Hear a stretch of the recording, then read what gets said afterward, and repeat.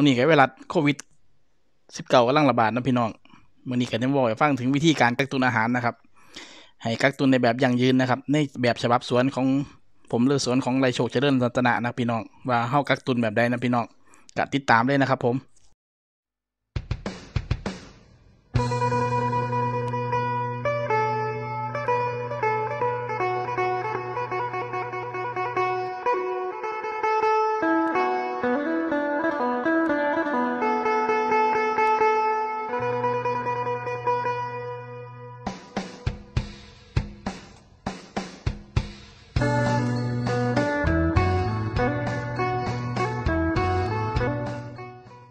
ครับผมกราบสวัสดีพี่น้องสุขุมทุกคนนะครับการช่วงนี้ก็เห็นหลายท่านนะครับกำลังบอกถึงเรื่องการกักตุนอาหารนะพี่น้อง เพราะว่าตอนนี้สถานการณ์ไวรัสโควิด -19 ก็ระบาดเริ่มที่เอาวายุเราพี่น้องนะครับ หลายท่านก็เริ่มกักตุนอาหารนะครับ กักตุนข้าวสารอาหารแห้งไม่ว่าจะเป็นมาม่าปลากระป๋องนะครับ แต่ว่าสิ่งหนึ่งที่พ่อพี่น้องนะครับ ที่เป็นเกษตรกรหรืออพ่อพี่น้องที่มีไฮมีหน้ามีสวนอยู่แล้วนะครับก็ไม่จำเป็นต้องไปกักตุน มาหมาปากระป๋องคือยังปืนเพิ่นนะครับ เพราะว่าเขามีต้นทุนในเรื่องของทรัพย์ในดินสินในน้ำของเขาอยู่แล้วพี่น้องนะครับ เพราะฉะนั้นในส่วนตรงนี้ทางไรโชคเจริญรัตนะหรืออ่าในส่วนของสวนของผมก็เลยที่มาบอกสู่กันฟังว่าการกักตุนอยู่สวนเนี่ยตุนเอียงแน่นะพี่น้องก็ติดตามนะครับ ผม ครับพี่น้องจริง ๆนะครับอยู่สวนผมหรือว่าสวนเกษตรกรหลายๆท่านนะครับ จริงๆเขากักตุนอาหารอยู่แล้วพี่น้องนะครับ เพียงแต่เฮาว่าได้เว้าถึงสถานการณ์ที่มันเกิดขึ้นณตอนนี้ซื่อนะครับคำว่ากักตุนในที่นี้ก็หมายถึงว่าการที่เฮาปลูกพืชผักไว้กินเองนะครับ ปลูกเขาไว้กินเองนั่นแหละครับ มันก็คือเป็นการกักตุนในการนำอาหารที่เฮาปลูกนะครับ ในนำอาหารที่เฮาเฮ็ดเนี่ยมาบริโภคในแต่ละมื้อนะพี่น้องนะครับบัดนี้การเริ่มการกักตุนในการเริ่มการเฮ็ดนะครับก็จะมีวิธีการยังไงดีให้เฮาได้ยังยั่งยืนนะครับ ผมให้เฮามีกินมีใส่นะครับ ถึงภาวะ เศรษฐกิจหรือไวรัสระบาดแบบนี้เฮาก็ยังสิบ่เดือดร้อนนะครับ ก่อนอื่นพี่น้องนะครับ พี่น้องก็ต้องมีการจัดสรรนะครับ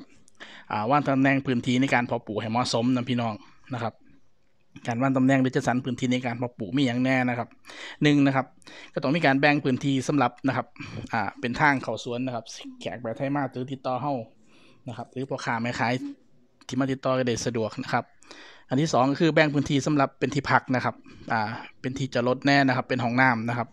อันนี้ยูสวนก็อ่า มีจอดรถสามารถเขามาจอดได้เกินสิบขั้นนะพี่น้องนะครับ อันที่สามก็คือแบ่งพื้นที่นะครับสำหรับเป็นบ่อน้ำเป็นสระน้ำนะครับ เอาไว้เลี้ยงปลากินนะครับ เอาน้ำไว้อุปโภคบริโภคล้างถ้วยล้างซ้ำนะครับ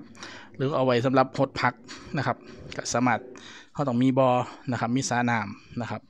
ซีกับแบ่งพื้นที่สำหรับปลูกเขาไว้กินพี่น้องอันนี้ขาดบ่ได้เลยพี่พี่น้องนะครับ เป็นเกษตรกรเป็นชาวนานะครับ ถ้าผู้ใดเป็นเกษตรกรเป็นชาวนาซื้อเขากินในอายเพิ่นนะพี่น้องนะครับ อายคักนะครับอ่าเพราะนั้นก็คือ แต่ว่าอยากให้อายเพิ่นเป็นเกษตรกรเป็นชาวนาก็ต้องต้องมีเขาไว้กินเองหามซื้อนะครับ ผมนี่หานะครับอ่าแบ่งพื้นที่สำหรับปลูกพืชนะครับ ให้มีรายได้เป็นรายปีนะครับ พืชที่มีรายได้รายปีในที่นี้ของผมเนี่ยหมายถึงอย่างเดี๋ยวผมที่บอกต่อไปนะครับ หกก็คือแบ่งพื้นที่สำหรับปลูกพืชให้มีรายได้เป็นรายเดือนนะครับพืชที่มีรายได้เป็นรายเดือนมันคืออย่างกะเดี๋ยวติดตามในหัวข้อต่อไปนะครับที่เจ็ดนะครับกะปลูกพืชนะครับให้มีรายได้เป็นรายวันนะพี่น้องนะครับกับมีพืชอย่างแน่กับเดี๋ยวที่อธิบายคร่าวๆให้ฟังนะครับ อันที่แปดก็คือแบ่งปลูกพืชนะครับพืชผักสวนครัวนะครับ ไปกินนะครับไม่ต้องซื้อนะครับ อันนี้ยกตัวอย่างนะครับ พวกพริกขิงข่าตะไคร้นะครับพืชผักสวนครัวต่างๆนะพี่น้องนะครับ อันที่เก้านะครับ แบ่งพื้นที่ไว้สำหรับเป็นโรงพาะชำต้นกาต่างๆสำหรับจำหน่ายนะครับ เป็นรายได้ในการในการเสริมเสียค่าน้ำค่าไฟนะครับ ผม อันที่สิบก็คือแบ่งพื้นที่อื่นๆนะครับสำหรับเห็ดใส่ประกอบในครัวเรือนไม่ว่าจะเป็นในส่วนของเตาเผาถ่านเผาแกบนะครับ หรือปลูกน้ำใหม่ไปกินหรืออเป็นแรงบ่อบาดาลบ่อนั่นบ่อนี่นะครับ ตัวนี้เขาก็ต้องแบ่งพื้นที่ใช้ซอยห้องให้มันเรียบร้อยนะครับ ที่นี่ จากที่ผมหัวขอหาถึง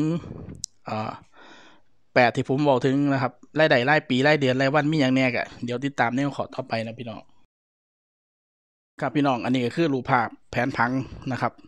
อยู่สวนของกับผมดูว่าไรโชคเจริญรัตนะนะครับ ที่ผมกับพี่เคยพี่สาวได้มีการนะครับ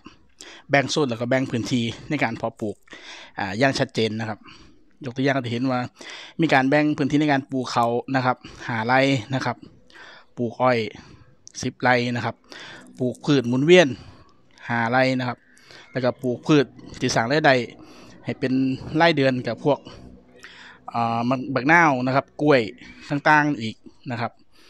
อ่าพื้นที่ทั้งเบิดนะครับ พื้นที่ทั้งบิดยู่สวนก็มีอยู่ยี่สิบไร่นะพี่น้องนะครับ แต่ว่าเขาแบ่งพื้นที่ในการเพาะปลูกต่างๆ ให้มันครอบคลุมนะครับ แล้วก็สามารถปลูกหมุนเวียนนะครับเฮ็ดให้เฮานะครับ มีอาหารที่สามารถ กินสามารถใส่กักตุนได้ตลอดปีตลอดศาสตร์นะพี่น้องบอกง่ายๆนะครับบางท่านอาจจะถามผมนะครับว่าเอ้าเราเฮาแบ่งพื้นที่แล้วเฮาที่เอากำหนดว่าแต่ละพื้นที่เฮาสิปลูกพืชย่งแน่นะพี่น้องนะครับสำหรับผมในการเลือกปลูกพืชแต่ละชนิดในสวนง่ายๆเลยพี่น้องนะครับ มีหลักการง่ายๆอยู่หกข้อพี่น้องนะครับหนึ่งก็คือปลูกพืชที่จะของมากินนะพี่น้องนะครับสองก็คือปลูกพืชที่คนรอบข้างมากินนะครับ สามก็ปลูกพืชที่คนส่วนใหญ่ในหมู่บ้านกินนะครับ อันที่สี่คือปลูกพืชที่คนในตำบลในอำเภอในจังหวัดเฮากินนะพี่น้อง อันที่ห้าปลูกพืชที่พ่อค้าแม่ค้าในตลาดแถวที่เฮาอยู่ในต้องการนะครับ อันที่หกก็คือปลูกพืชให้เหมาะสมกับสภาพดินฟ้าอากาศและก็พื้นที่ที่เฮาอยู่พี่น้อง สรุปง่ายๆนะพี่น้องนะครับก็ปลูกเอาที่เฮากินนะครับ หมายถึงว่าเขาอยากกินอะไรเขามากินอะไรนะครับกระปลูกอันนั้นนะครับ ผมแล้วก็ญาติพี่น้องหรือคนในพื้นที่นะครับ ของเขาเนี่ยเพิ่นมักกินอะไรเขาต้องสำรวจก่อนการปลูกยังน้อยพี่น้องเป็นยังคือต้องวางสันนะครับเพราะว่าถ้าเขาปลูกในสิ่งที่คนรอบขางเขากินหรือในพื้นที่หมู่บ้านหรือตำบลอำเภอจังหวัดที่เขาอยู่กินนะครับ เวลาที่เขาปลูกหลายๆแต่เขาที่ไปขายมันก็จะง่ายขึ้นนะพี่น้องนะครับ เพราะว่าเป็นพืชที่เขากินอยู่แล้วนะครับ แต่ว่าถ้าเขาปลูกพืชบางชนิดที่เพิ่นบ่บ่เคยกินหรือเพิ่นบ่มักกินจังซี่นะครับ ปลูกไปซึ่งว่ามันหลายเฮาสิขายยากนะพี่น้องหลักการง่ายๆมีแค่นี้แหละครับ พี่น้องกระจายที่ผมเบามาในหัวขอก่อนนะครับ ว่าการที่เฮาแบ่งพื้นที่เฮาเลือกพืชที่ปลูกแล้วที่ปลูกแล้วนะครับบัดนี้พืชที่เฮ็ดให้เฮามีรายได้รายปีนะครับรายเดือนรายวันนะครับ หรือแม้กระทั่งพืชพวกพืชผักสมุนไพรนะครับ ที่เฮาควรที่ปลูกมันมีอย่างแน่นะพี่น้องผมยกตัวอย่างอของที่ปลูกในสวนนะครับสไลด์นี้อาจจะตัวหนังสือเยอะไปน้อยนะพี่น้องถ้าใคร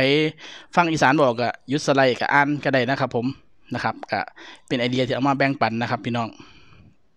นะครับสำหรับยุสวนนะครับก็ที่มีการแบ่งพื้นที่นะครับ การปลูกก็คือให้ปลูกให้เป็นไร่ใดไร่ปีนะครับก็ยกตัวอย่างนะครับที่เป็นพวกอ้อยนะครับผมมันสำปะหลังนะครับ เพราะว่าพวกนี้ก็คืออปีหนึ่งเก็บเกี่ยวเทื่อหนึ่งนะพี่น้องนะครับ ผมก็ที่ว่าคำขามมันผ่านไปนะครับ อันที่สองก็คือปลูกให้มีได้ได้รายเดือนนะพี่น้องนะครับอยู่สวนก็จะมีพวกกล้วยน้ำหวากล้วยหอมทองนะครับบักนาวนะครับในยางรถยนต์ในบอซิเมนต์นะครับฝรั่งกิมจูมะละกอนะครับพวกนี้เป็นยังคือว่าคือมีรายได้รายเดือน เพราะว่าอ่ามันที่มีการเก็บเกี่ยวเป็นระยะระยะนะครับอาจจะการเก็บเกี่ยวเดือนละครั้งหรือสามเดือนครั้งสินะครับอันที่สามก็คือแบ่งพื้นที่สำหรับปลูกให้มีรายได้เป็นรายวันนะพี่น้อง อันนี้ก็คือเป็นพืชตระกูล อายุสั้นนะครับพืชอายุสั้นพืชผักต่างๆนะครับยกตัวอย่างนะครับว่าจะเป็นทั่วฝักยาวนะครับพริกชี้ฟ้านะครับ แตงกวาแตงไทยนะครับมะเขือมะเขือเทศมะเขือเปาะข้าวโพดนะครับ ดอกขจร หรือว่าพืชผักอื่นๆนะครับ ที่เขาสามารถปลูกในพื้นที่เขาได้นะพี่น้องนะครับ อันนี้ก็ที่ให้มีรายได้ เป็นรายวันนะครับ แล้วก็พืชพวกนี้นะครับต้องปลูกมุนเวียนนะครับปลูกมุนเวียนไปเรื่อยๆนะครับอย่าปลูกซ้ำแปลงเก่านะพี่น้องนะครับเพราะนั้นมันจะเกิดลงแมลงเลยเอาแมลงมาอยู่นะพี่น้องนะครับแล้วก็อันที่สี่นะพี่น้องนะครับแบ่งพื้นที่ในการปลูกพืชผักสวนครัวต่างๆนะครับว่าจะเป็นพวก ขิงข่าตะไคร่นะครับ ใบมะกรูดในส่วนของใบกะเพราใบโหระพานะครับ ใบแมงลักหรือใบผักอีตูบานเฮาพวกนี้แหละครับ พวกนี้ก็ต้องห้ามขาดนะพี่น้องนะครับเฮ็ดเกษตรแบบผสมผสานนะพี่น้องอย่าให้ได้อย่าให้ได้ซื้อกินนะครับ ซื้อกินอายเพิ่นนะครับ ถ้าเกิดเป็นพืชพืชผักสวนครัวขอต่อมานะครับกับแบ่งพื้นที่นะครับสำหรับเป็นโรงเพาะช่ำนะครับช่ำต้นกาต่างๆนะครับเขาก็ต้องมีการขายพันธุ์จำหน่ายพันธุ์หรือเพาะพันธุ์เพื่อขยายพันธุ์ต่อนะครับเขาก็ต้องมี ทำการเฮ็ดโรงพาะช่ำนะครับว่าจะเป็นยกตัวอย่างที่สวนกับช่ำกิ่งบักนาวแน่นะครับช่ำพันธุ์กล้วยแน่ช่ำพันธุ์ดอกขจรขายแน่สินะครับในปัจจุบันก็จะมีช่ำต้นฝรั่งกิมจูนะครับ หรือว่าจะเป็นมันเทศหรือมันหวานญี่ปุ่นจังซี่นะครับเขาต้องมีโรงพาะช่ำนะครับแล้วขอขอข้อที่หกก็คือปลูกเขาสำหรับกินพี่น้องขอนี่ขาดบ่ได้เลยพี่น้อง ผมย้ำตลอดนะครับเฮ็ดเกษตรนะครับ ขอแรกถ้าเกิดคิดยังไม่ออกให้ปลูกเขาก่อนพี่น้องนะครับปลูกเขาไว้กินนะครับนิดหน่อยถ้าเขามีเขานะครับ กับแกมเขา หรือกับบ่เป็นกับแก้มบ่ถึงกับแก้มเราเปรี้ยวปากหมายถึงว่ากับเขาเขาหายังกระไดว่าถ้าเขามีเขาพี่น้องนะครับ พี่น้องไรโชเจริญพัฒนากะเฮ็ดนะครับ เกษตรแบบผสมผสานแบบหมุนเวียนยังสี่นะครับ มาแบบเต็มขันเต็มโตกับเป็นเวลาเกือบสิเขาปีที่เก่าแล้ว อ่าที่เขาปีที่แปดที่เก่าแล้วพี่น้องนะครับก็เฮ็ดมากแบบนี้อยู่ตลอดนะครับ เพราะนั้นก็คือเริ่มต้นจากเขาก็ต้องมีการจัดสรรนะครับว่างตำแหน่งพื้นที่ในการเพาะปลูกแล้วพี่น้องนะครับแล้วก็ปลูกพืชแบบหมุนเวียนนะพี่น้องหมุนเวียนนี่คือปลูกพืชให้หลากหลายพี่น้องนะครับเขาจะได้ลดความเสี่ยงในเรื่องของราคาพืชผลที่มันตกต่ำอีกอย่างเขาก็จะมีอ่าพักพืชพักนะครับผลไม้นะครับได้บริโภคในครัวเรือนได้ย่างหลากหลายพี่น้องนะครับ แล้วก็ นี่แหละครับ วิธีการกักตุนอาหารนะครับ แบบฉบับของไดโชคเจริญตนะหรือว่าสวนของผมที่กักตุนอยู่เสมอนี้นะครับเฮากักตุนอาหารมาเป็นระยะเวลาตลอดชีวิตของเฮานะครับเพียงแต่เฮาบ่เว้าคำว่ากักตุนซื่อๆนะครับ แต่ว่าช่วงนี้มันมามาเจอช่วงไวรัสโควิดนะครับ19นะครับ เห็นพ่อพี่น้องหลายคนพยายามเขาในห้างนะครับ เขาในแมคโครโลตัสเพื่อไปหาซื้ออาหารมาไว้กักตุนนะครับ แต่สำหรับสวนเฮาเฮาบ่ได้คิดจังซั่นนะครับ เพราะว่าเฮามีสิ่งที่เฮากักตุนได้ตามท้องไร่ท้องหน้าตามสวนตามไรเฮาอยู่แล้วนะพี่น้องครับผมพี่น้องก็ขอบคุณในไลน์พ่อพี่น้องนะครับ ที่มารับชมรับฟังจนถึงสไลด์สุดท้ายนะพี่น้องนะครับกับว่าว่าคลิปนี้จะเป็นประโยชน์กับพ่อพี่น้องสุขุสุขคนสำหรับผู้กำลังที่เริ่มกักตุนอาหารแบบยั่งยืนนะพี่น้องนะครับกับหวังว่านะครับพ่อพี่น้องที่ปลอดภัยจากโรคโควิดนะครับ19นะครับที่กำลังระบาดอยู่ตอนนี้นะครับ